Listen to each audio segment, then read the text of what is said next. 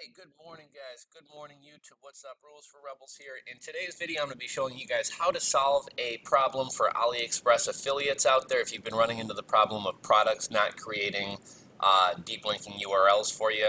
Uh, basically what I mean by that is we'll take a product, I already have one copied and pasted here, we'll paste it in and then we'll click get tracking ID and instead, instead of spitting out my affiliate link below, it says this URL is not promoted by the portals currently.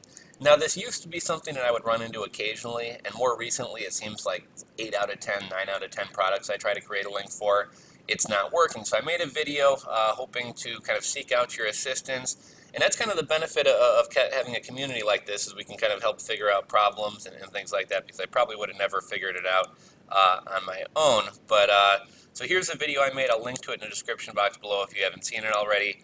Uh, but I got to give uh, give props and give a shout out out to YouTuber. I think he was the first one to solve this issue, and he said it's because of the security issues.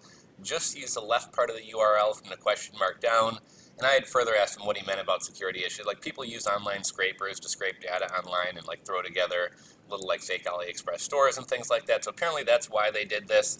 Um, but again, I'll show you the problem. So we paste in our link, we click tracking ID, it won't let us, right? However, if we go to that back to that very same product here, and we're going to do everything to the left of the question mark. So find the question mark, which is right there. We're going to copy and paste everything to the left of the question mark. So we'll copy that.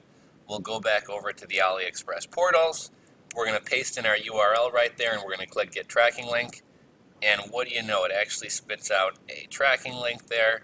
If we copy that tracking link and come here and paste it in, it's going to take us right to that camera case, guys. So very, very easy solution. Uh, Got to thank YouTuber uh, for uh, kind of answering that question for us. I've been running into this problem a lot lately, and from the comments uh, below the last video I made, it seems like you guys have as well. So that is a, the, the really simple solution to this problem. Hopefully it helped you out. If you have any questions about the AliExpress affiliate program, affiliate marketing, online marketing, content marketing in general, drop a comment in the comment section below. Uh, please share this video with your friends who are affiliate marketers, with other AliExpress affiliate marketers. If you're on any Reddit forums about affiliate marketing, share the video, thumbs up, all that good YouTube stuff, and uh, I will catch you guys on the next video.